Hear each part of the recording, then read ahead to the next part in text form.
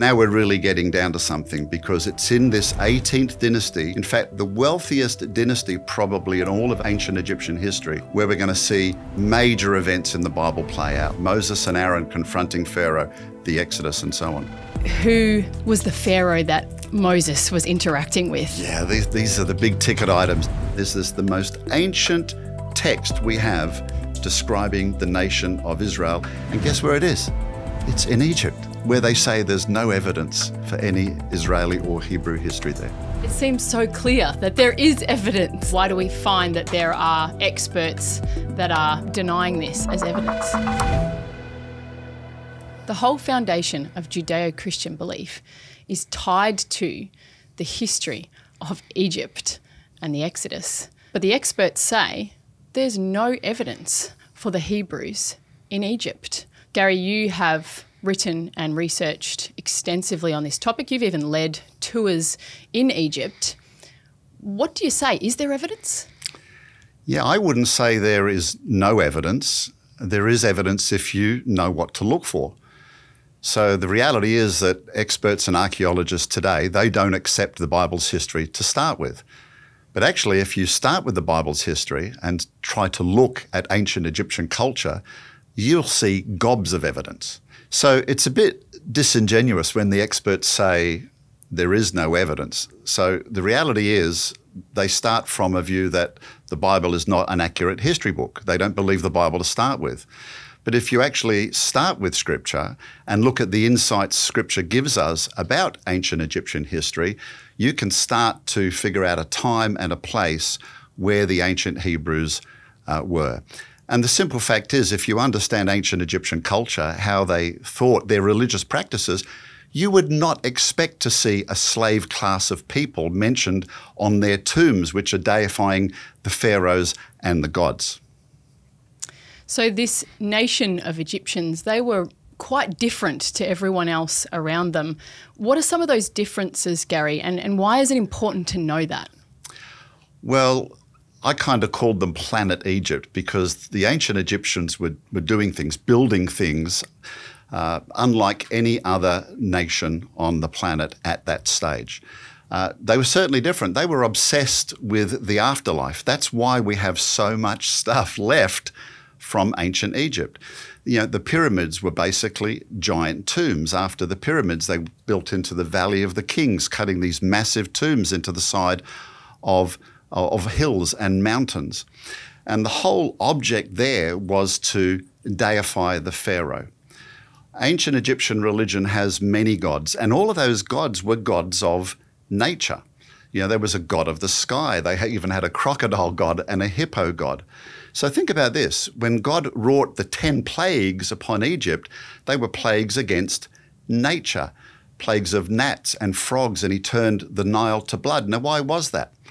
Well, the Pharaoh was a living representative of those gods. His job was to maintain something they called Ma'at, which was balance and justice. And it was pretty easy for him to do because the reason Egypt was so wealthy was the Nile. Every year, the Nile used to flood. It used to bring these life giving silts from Upper Nile in Central Africa. These silts would be deposited on the banks of the Nile and they would plant. They only had three seasons flood, planting, and then reaping. And so when you can feed a population as well as they could, you can get a large population very, very quickly to build all these incredible monuments. It also gives us an indication in the Bible whenever there was famine in the land, where did they go? Hey, let's go down to Egypt. So they had the Nile, that was really the center of everything. And it's also what gave them their wealth. Mm, okay. And so, can you give us a bit of a perspective then of the Egyptian chronology and how that's framed? Yeah, so the dynastic system that we have today was compiled by an Egyptian priest called Manetho and he was living in uh, it was around about 322 BC, I think, at the time of the Greek occupation of Egypt. Alexander the Great came in, he conquered Egypt. One of his generals, Ptolemy, took over, and so Manetho was commissioned to write a history of ancient Egypt. And kind of here's how it goes you've got the Old Kingdom. Now, a kingdom period is when a monarch ruled over all of Egypt, Upper Egypt and Lower Egypt. So, for example, the fourth dynasty, those great pyramids we have at Giza, uh, that's in the Old Kingdom. Now, it's a belief that that great pyramid building bankrupted the economy. And so you then go into what's called an intermediate period. And these local governors and viziers set themselves up as pharaoh. There was not national rule. Then we have the Middle Kingdom. So this was a very short period when a king, a succession of kings ruled over Egypt, and that declined. And when that declined, there are records of a Semite people, so that's from the Levant, uh, what we might call even Canaan today, migrating to Egypt Okay, and eventually they took over and ruled Egypt, and they were a group of people known as the Hyksos, rulers of foreign lands. And during that second intermediate period of the Hyksos, they relegated the nation, uh, the, the, the Egyptians themselves, to central Egypt, Thebes or Luxor, and they were virtually prisoners in their own land. Eventually, the Hyksos were expelled, and then we have the wealthiest period in all of ancient Egypt, the New Kingdom. And then after that, there's a third intermediate period, a late period. The Persians come in and conquer Egypt. Mm-hmm. And then we get to Alexander the Great and the Ptolemies. And of course, one of the most famous Ptolemaic pharaohs we've all heard of was Cleopatra. Actually, Cleopatra VII was the last pharaoh of Egypt before uh, the Romans conquered and took it over. And so we get this framework from Manetho, who you've mentioned. Yes, so he tried to compile a dynastic system, a dynasty kind of being a family line. And when no son was born to inherit the throne, it, the next pharaoh may have been a governor or a general in an army or something like that. A good example of that is Tutankhamun, the famous pharaoh of the 18th dynasty. He didn't have any children. And so eventually the uh, succession was passed on to one of his generals. But here's something interesting, Jess. We look at Manetho, and he's an ancient historian that was referred to by others. But when he was writing about the beginnings of ancient Egypt, in fact, he was closer to the moon landings than he was to the beginnings of ancient Egyptian history. That's how long ancient Egyptian history has gone for. Okay, so we've got this time frame now. How do we know when the Hebrews were in Egypt? Well, remember, I said the Egyptians are not going to mention them. Uh, I mean, why are you going to mention a group of slaves on your tomb? It would be like my family putting my mortal enemy's name on my, t- my own tombstone, right? It's not going to happen. But again, the Bible gives us some insights, and I'm, I'm, going to need to refer to some passages of scripture here because I believe the Hebrews were there. Joseph eventually came down and he encountered a Hyksos pharaoh, a non Egyptian pharaoh. And if you remember, I said they were ruling Egypt and had subjugated the native Egyptians themselves to central Egypt. So I was reading the Bible one day, and you know, the story of Joseph is, in fact, my favorite story in the Bible. As a young Christian, I read it lots and lots because it's about forgiveness and redemption. But after I started to study Egyptian history, I was reading one of these, these passages again, and this literally leapt out of the pages of the Bible for me, and I was so excited. So we know the story. Uh, Joseph was sold by his brothers into slavery. He was taken down to Egypt, and he served in Potiphar's house as a servant. So uh, let's read this, for example. In Genesis 39, verses 1 and 2, it says, Now Joseph had been brought down to Egypt, and Potiphar, an officer of Pharaoh, the captain of the guard, an Egyptian had brought him from the Ishmaelites who had brought him down there. The Lord was with Joseph and he became a successful man and he was in the house of his Egyptian master. Now that's just one passage. Whenever Potiphar is mentioned in scripture, it's Potiphar the Egyptian, Potiphar the Egyptian. And I thought, well, isn't that a little redundant? I mean, he's in Egypt to start with. Why would you keep referring to him as an Egyptian? Yeah. Well, we know eventually Joseph was put in prison and he interprets Pharaoh's dream. So when he's brought out and he correctly interprets Pharaoh's dream, this is in Genesis 41, Pharaoh said to his servants, Can we find a man like this in whom is the Spirit of God? And by the way, let me just stop there. Mm. So you've got this Pharaoh in Egypt, and the word God is Yahweh. But hang on, Egyptians don't recognize Yahweh, they've got their own gods. But if the Pharaoh was a Hyksos, he's a Semite, right? He would probably believe in some sort of monotheistic uh, religion. Um, Pharaoh basically is eventually going to give the best of the land to the Hebrews, etc. So Pharaoh is lauding this foreign god. This does not make sense if Pharaoh is an Egyptian. And then we have the reconciliation when Jacob comes down with the rest of his sons and Joseph is reconciled to his brothers.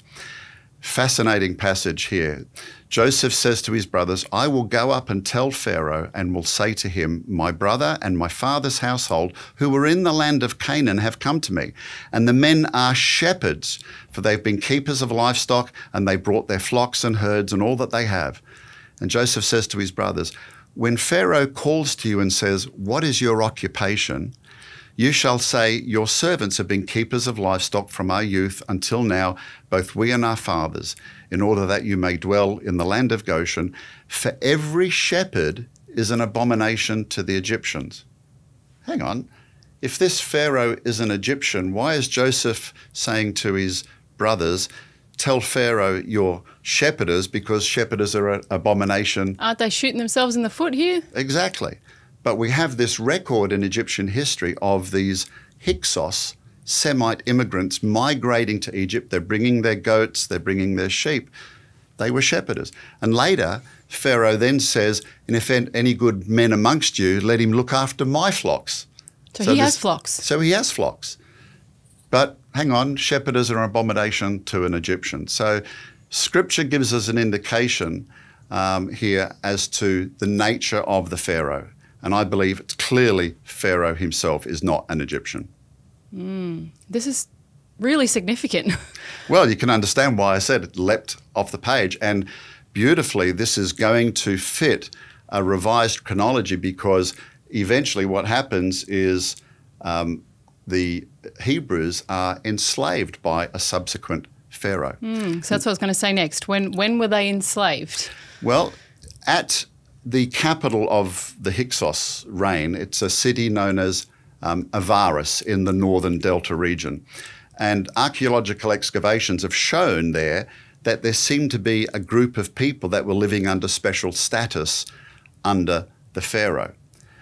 Now, the scripture tells us that Pharaoh gave Joseph and his family the best of the land. But do you remember what I said about Pharaoh? He's a representative between the gods, the gods of nature, and the people and Pharaoh's giving away his blessed land to foreigners. Mm. Unthinkable. Another indication that he's not an Egyptian. But in Egyptian history, we know that the Hyksos were eventually expelled. There's a pharaoh called Seqenenre Tao in the 17th dynasty. This is in the second intermediate period he tried to expel the Hyksos. In fact, you can see his mummy in the uh, Museum of Civilization in Egypt. He's got these axe wounds in his head. His body apparently was left on the battlefield for a couple of days, and so it was in bad condition before they retrieved it and mummified it.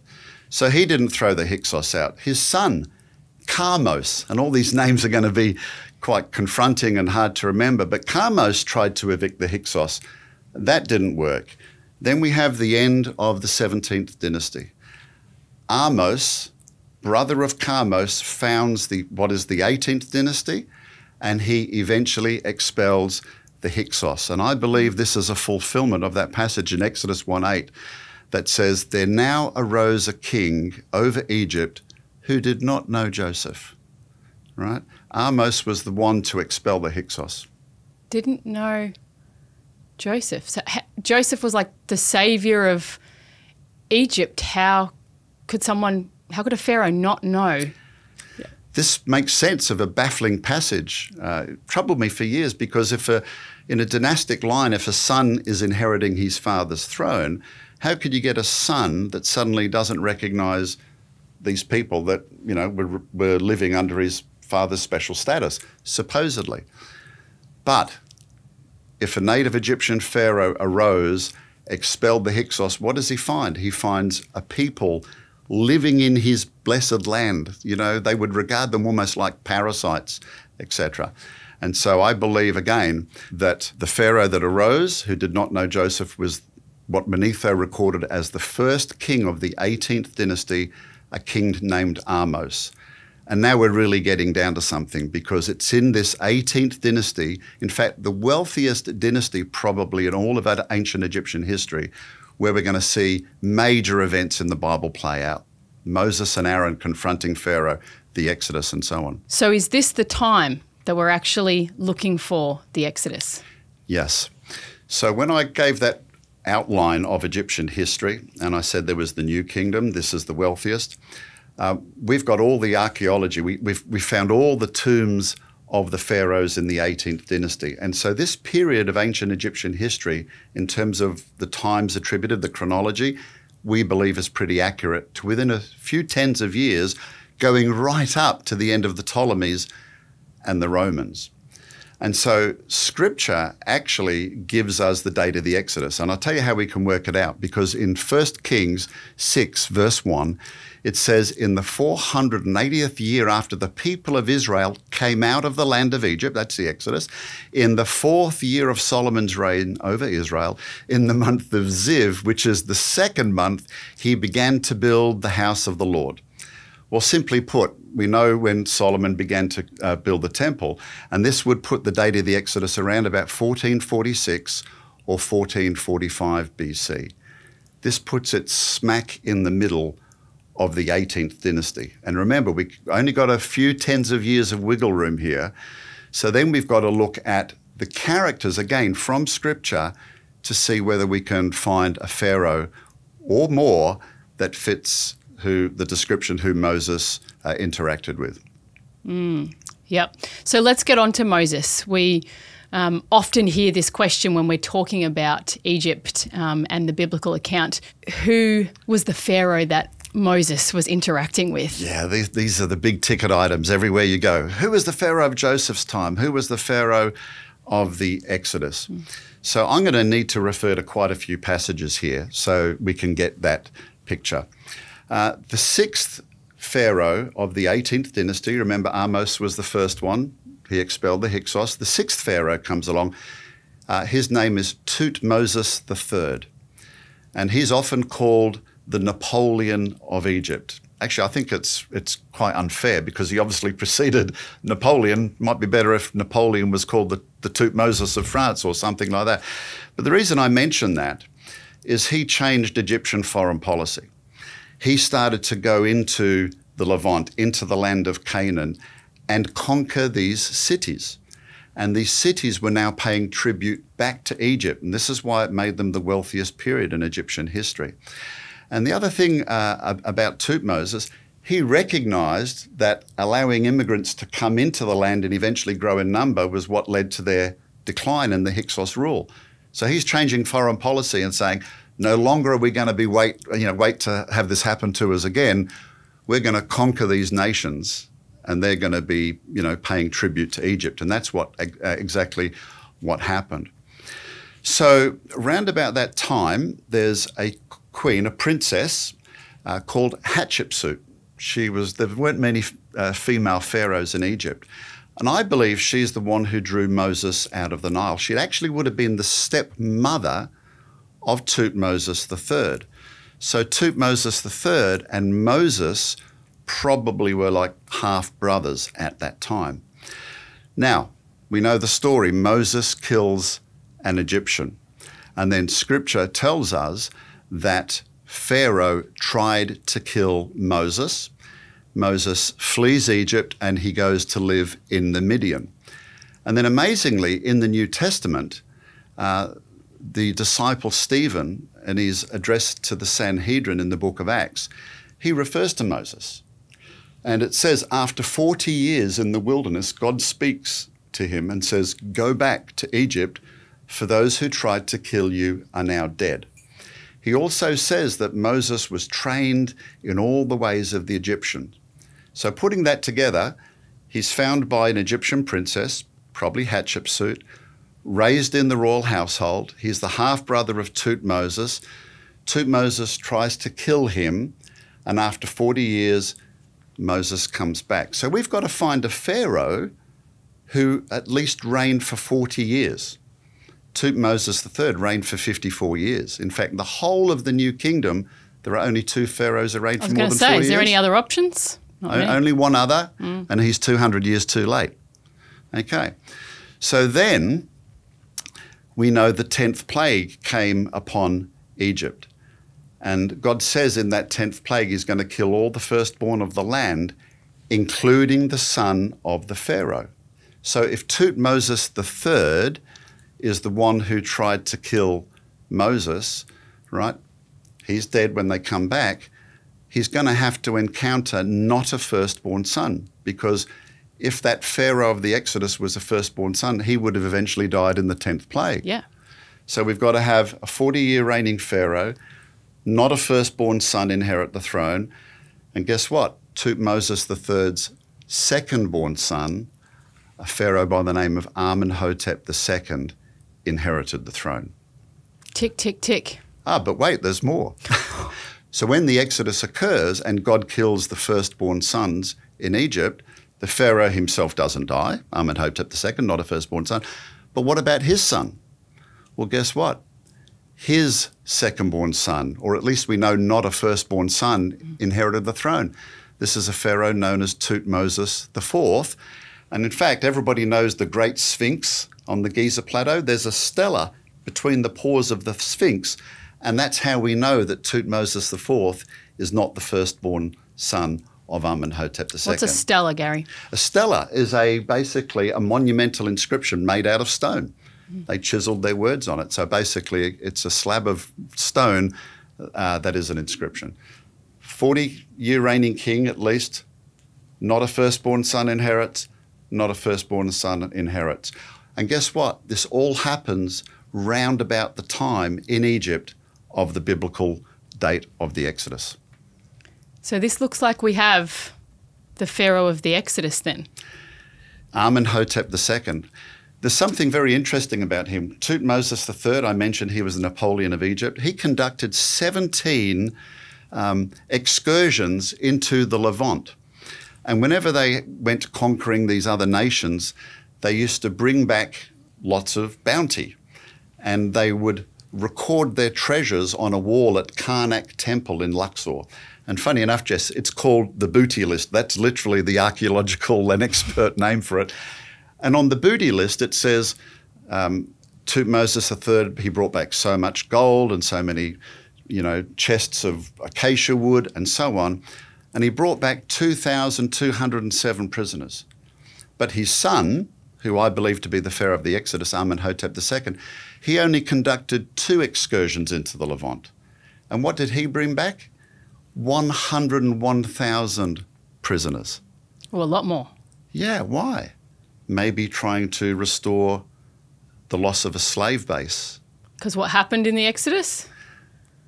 We lose all the all slaves. those slaves. Yes. Yes, and their job was to ba- basically build mud bricks. That's what scripture tells us. When you go to Egypt today, there are mud bricks everywhere. Really? Everywhere. Some of the walls surrounding temples are 20 over 20 feet thick. Imagine that f- thick of mud bricks to keep the floodwaters of the Niles out of the temple. So, yeah, brick mud brick making was a pretty uh, intensive and very important job. That must be pretty fascinating to go there and actually see it and be able to see and touch those mud bricks. Yes, it is. You know what's more fascinating?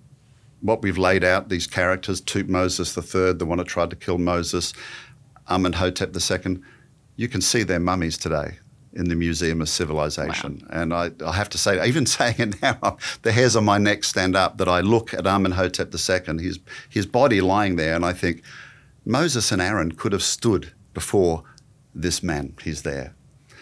And you know what's more fascinating, Jess, is after this period, okay, so I mentioned the Egyptians themselves are not going to mention the Hebrew nations. It's an affront to their gods, it's an affront to the Pharaoh.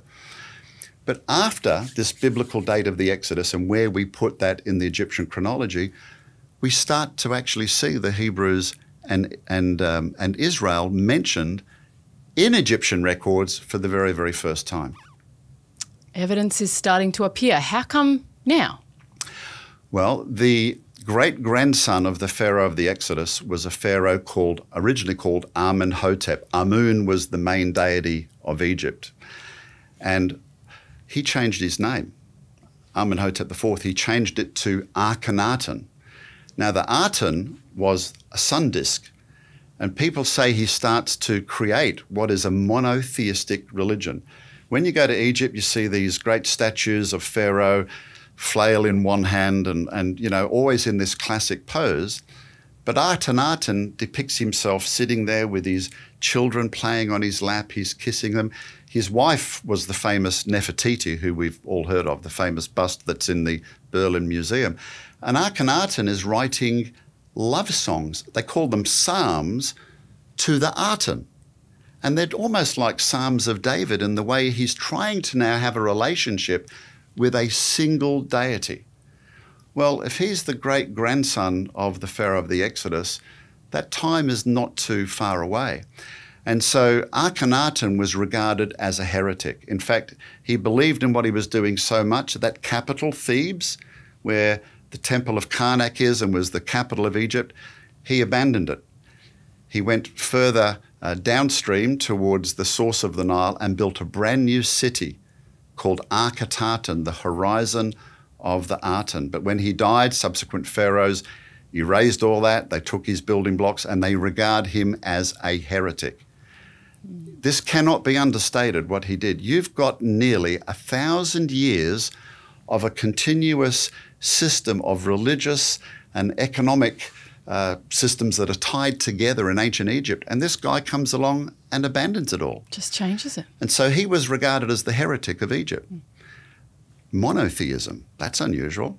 Where did he get that idea from, maybe? Well, everyone thought it was Akhenaten, but in the last couple of years, one of the most exciting finds in all of ancient Egypt, in fact, the press described, described it as mm. the most significant find since Tutankhamun's tomb, and this was a city built by Akhenaten's father, okay, called the Dazzling Aten, the city of the Aten, okay, and uh, or sometimes called the Golden City. So it shows that the elevation of the sun disk, the Aten, was not started by Akhenaten, but his father, Amenhotep III, and he is the grandson of the, what we believe to be the Pharaoh of the Exodus. So now you're getting closer to those dates. So was some of that legacy passed on from Amenhotep to his son? Now, this period is called the Amarna period because when Akhenaten, Akhenaten built that city, Akhetaten, mm. as it gets confusing, yeah. it's called, he built it at a place called Tel Amarna. And during their reigns, we've got tablets. These are cuneiform tablets, which are clay tablets with a a systematic form of writing. And these tablets are letters from these vassal states. Remember that Tutmosis III set up in Canaan that were paying tribute? And they're writing back to Amenhotep III and his son. And listen to what they're saying. The lands that your fathers joined together have been separated by the Aparu, or sometimes it's the Habaru. What does Habaru sound like? Hebrew. Aha. Now, Habaru is actually a, not a nice term. It kind of means vagabond, wanderer, nomad. Mm-hmm. And it's what we call a paronomasia. In other words, it's a punning term mm. that you might use as a nickname for somebody. It might sound like them, oh, but we can also call them, you know, uh, describe them in a derogatory term. Mm. And there are over 200 or more of these letters describing all of these lands that were under Egyptian rule being taken over by these groups called, or this group called the Aparu or the Habaru. And what does Amenhotep do about it, or his son Akhenaten? Nothing. They allow all those lands to be taken by these Habaru, even though they were paying wealth back to Egypt. My view is they've got a pretty good idea of what the Hebrew God did in Egypt and they're not going back. They're not going there to confront ah, them. I see. So they've got knowledge. They can remember what happened, and that's affecting the decisions that they're going to make. Exactly. Interesting. Can we go and see these tablets? Yes, you can. They're in the Egyptian Museum, and you can even type Amarna letters yep. online, and you can see some of the descriptions from these vassal kings talking about these groups conquering their lands. Quite amazing. And you can even go to some of those cities, their tells, their hills uh, in Israel today. So we're mentioning some of the evidence for the Hebrews actually being there. Is there anything else we haven't mentioned? There's a temple in Sudan. This is uh, a couple of countries south of Egypt, modern day Sudan. And there's a temple there. And they found an inscription called the Soleb inscription. And this inscription, which was built at the time of Amenhotep III, remember he's the grandson of the Exodus Pharaoh and the father of Akhenaten. And this description talks about the nomads of Yahweh. Right? So, yes, when these vassal states were riding back to Egypt, this is during what we call the conquest period. This is the time when Joshua and the Hebrews are entering Canaan and conquering these cities. And here we have Amenhotep III, remember the grandson of the Pharaoh of the Exodus, the one who built the big golden city to the Aten. He's describing them as the nomads of Yahweh. This is the first time in non biblical texts anywhere in ancient history that we have Yahweh actually mentioned. Mm. Now, a little bit after this, okay, remember I mentioned Tutankhamun and he gave his throne, well, he didn't, but his throne was given to Horemheb, his general. That was the end of the 18th dynasty. Then begins the 19th dynasty as Manetho recorded it. The third king of the 19th dynasty is one of the most famous kings in Egypt, Ramses II or Ramses the Great. I call him the Hollywood Ramses because he's the one that, uh, when you watch the movie with Yul Brynner, that Moses and Aaron encounter. It's, it's wrong by our view. But Ramses II's son is a pharaoh called uh, Merenptah. Looks like Merneptah when you look at it, so don't correct me for a wrong pronunciation. The Egyptians would have pronounced it Merenptah. But he, construct, he constructed a huge stela, and it's sometimes described as the Israel stela, because there's a little piece right at the bottom there where he mentions the nation of Israel. And this is the first mention of Israel act- actually as a nation in all of ancient history. And this is in hieroglyphics? That- it's in hieroglyphics, yes. He's boasting about his victory over, over Israel.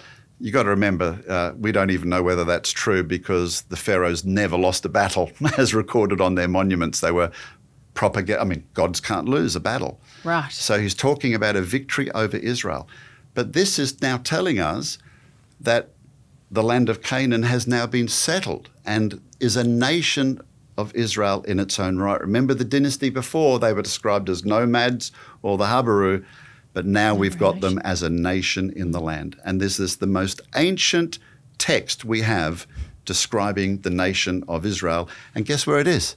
It's in Egypt, where they say there's no evidence for any, any Israeli or Hebrew history there. Gary, it seems so clear that there is evidence. Um, why is this seeming like it's being ignored, or um, why, why do we find that there are experts that are denying this as evidence?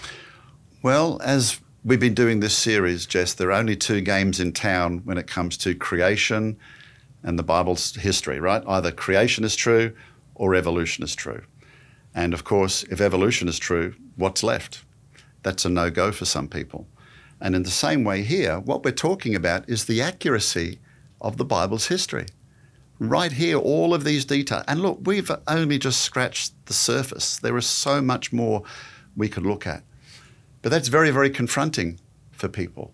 Are you telling me the Hebrews really were in Egypt? Are you telling me that 12 tribes exited from Egypt and that the Bible says from one of those tribes, the tribe of Judah, the Messiah would eventually come? yeah, for some, the reality is that's, that's a no go. But for us as Christians, we can take comfort of the reliability and the authenticity of Scripture. Just some of those details I mentioned before about the nature of the Pharaoh in Joseph's time are quite astounding when we know what to look for. So, why are all these facts not counted as evidence for the Hebrews being in Egypt? Well, again, just to repeat, they don't start with the Bible for one, but to quote Indiana Jones from the Raiders of the Lost Ark, they're looking in the wrong time. So you recall I mentioned the Hyksos capital, second intermediate period. Uh, it was called Avaris. The Hebrews were probably living there under special status under a non Egyptian pharaoh. So it looks like there was this Hebrew settlement in Avaris. Okay, now if you ask archaeologists, they'll say, well, this can't be the Hebrews because the Bible says that the Hebrews were enslaved, building mud bricks and building the storehouses of Pithom and Ramses. Well, the first Ramesside king doesn't come along until 200 years later in the 19th dynasty. That's 200 years late for the biblical date of the Exodus. But what we're dealing with here, Jess, is something uh, known as textual updating. So ancient scribes, you know, they were like human photocopiers recording ancient scriptures, ancient texts. But what would happen is often they would update name places so that the people, the readers of their day, would understand what they were referring to. And actually, Ramses II, remember I mentioned he was the third king of the 19th dynasty, he actually came along later and he built over and expanded the Hyksos capital, which was called Avaris, and it became the city of Ramses, Per Ramses, in other words, the house of Ramses. So later, when scribes were recording this history in the Bible, they were calling the place the city of Ramses because that's what it would have been in their day. Now, that might be a little confronting to Christians. Oh, our Bibles change. Well, remember, we only have copies, and the first things that would be changed are name places. Let me give another example. Mm. So the 12 tribes came out of Egypt and conquered the land of Canaan. One of those sons, when the land was broken up, was called Dan. All right? But long, long before the Exodus ever occurred, Abraham is pursuing Lot's captors, and scripture says he pursued them to the land of Dan. Well, how could he be pursuing them to the land of Dan before the Exodus has even taken place and the Hebrews have conquered that land and divided up the land? Mm. So, again, there's an example where scribes are updating the texts so readers know what region Abraham was pursuing Lot's captors to. And that's what we're dealing with here. The Hyksos capital of Avaris, where the Hebrews would have lived around and near under special status, was later built over by Ramses II and called Ramses. I wonder if any of these experts has heard that explanation before and um, understood the concept of textual updating, what they would say to that. Well, some of them have, uh, but again, um, they might just say, well, the Bible's fairly accurate when it comes to some parts of history, but is it a divine book inspired by the Creator himself? That's where they would fall short. So, are you saying, Gary, that because of their worldview, it seems that they are discounting clear evidence that doesn't fit with that worldview? Yeah, well, remember when I started, you're not going to see mentions of Hebrews on Egyptian tombs, but if you start with the Bible, then you start to know what to look for. You get those insights from Scripture about the characters. And the amazing thing is, Jess, the Egyptians have left this amazing record of their pharaohs and how long they reigned. And we can take that and look at the Bible's history. But as I mentioned, that's going to be pretty confronting for some when they discount the Bible's history to start with. But you know what's exciting? You mentioned that we've led tours there, and I can talk to the local Egyptian guides who are not Christians, and I sit about this revised chronology, and they know these people, Hatshepsut, they know Tutmosis, and I try to flesh it out in terms of what the Bible says about them, and I've yet to be re- re- rejected by them. And they turn around and say things like, that makes perfect sense. So these are people without the same kind of background, not necessarily looking for it, but it's because they don't know what to look for if they've never read the Bible to start with. Gary, thank you so much for helping us understand so much of Egyptian history. Yeah, it's been great.